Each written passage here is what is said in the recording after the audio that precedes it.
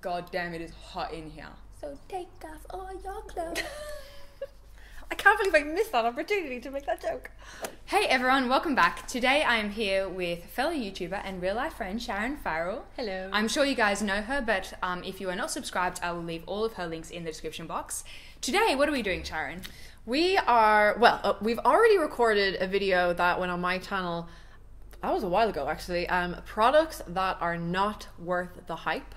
So we thought we would follow up today by telling you some products that we think are worth the hype. Do you want to go first? We try, we actually tried not to tell each other what we were gonna. We didn't tell each other, yeah. Yeah, but I did reveal that I might be using this, and Karima was like, "Damn it, I wanted to use that."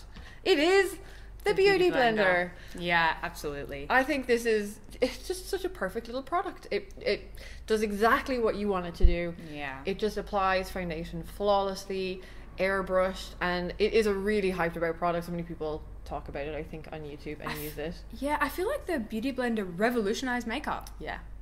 Yeah. I think that that's like the the truly, you know, innovative tool of the past 10 years or so. I reckon you're right actually. And thinking about it, a lot of the like crazy contouring trends that we've seen on Instagram and on YouTube over the past few years wouldn't be possible Made possible by Beauty Blender. Like a beauty blender, yeah, to blend all of those Yeah. really contrasting tones together. Amazing. Really good for dry skin and full coverage foundations. Yeah, yeah. Okay, to start with, Jeffree Star liquid lipsticks. Um, today, Sharon is wearing the shade Masochist, and it looks amazing on her. I love it. You need this one. Of the liquid lipsticks that I've tried, I think these are the most comfortable formula. They are a little bit drying, but I think that's inherently what you're going to get with a liquid lipstick. Yeah. I do find that uh, they don't settle into the lip lines. They're not terribly unflattering on textured lips. If you do reapply two or three times, they will get a little bit crumbly, but you know, that's the price you pay. The Yeah. colors, amazing. The longevity, amazing. Yeah, exactly what you They're said. amazing. No texture issues. Yeah.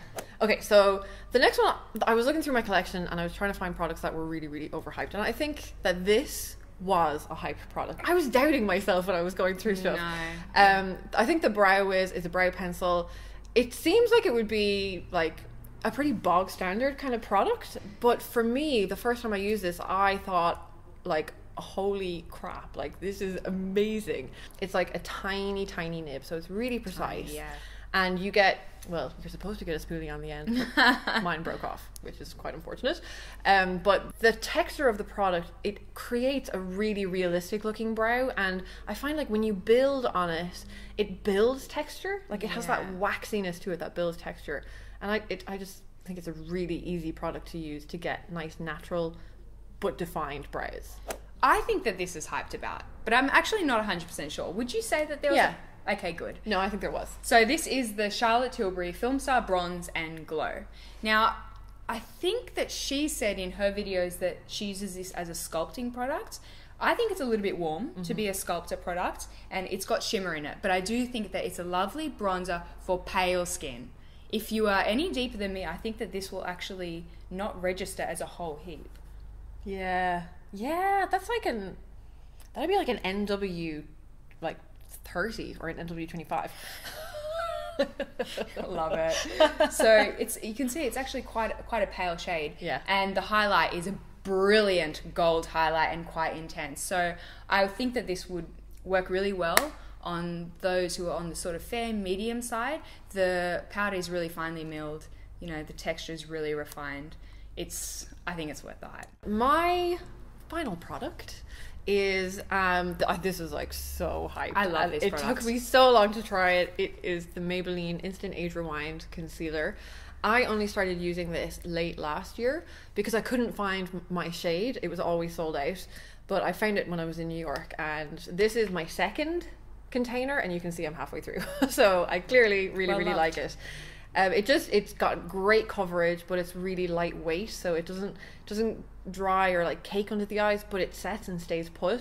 So I think especially for an affordable drugstore Amazing, product, yeah. it's absolutely amazing. And I really like this ball applicator. Oh, it. I, I really like it. Do you not like it because of from a hygiene perspective, or you just don't like it?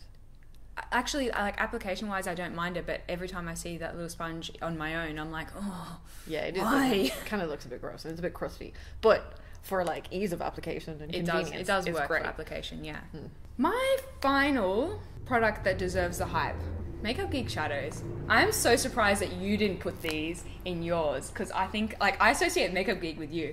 Really? Yeah. Oh no, you know. Well, the only reason I didn't is because you said that you were going to be putting them in the video, and I was Ah, okay. like, well, I can't. All right, fair enough. yeah. Uh, Makeup Geek Shadows, really, really great price point. Yeah. I would say that the quality is quite comparable to, say, MAC, Mm-hmm. but perhaps more consistent between shades. I agree. Do you? Yes. Yeah. I feel so validated. Yeah, no, I, I think Mac. I, don't get me wrong, I love Mac Love eyeshadows, MAC, but yeah. there's a lot of Misses. misses. Yeah, Like Brun. Love Brun in the brows, but on the eyes, I always found that to be yeah. not so great. But I think Makeup Geek is very consistent. I'm particularly fond of the mattes. She does a great range of mattes. Mm-hmm.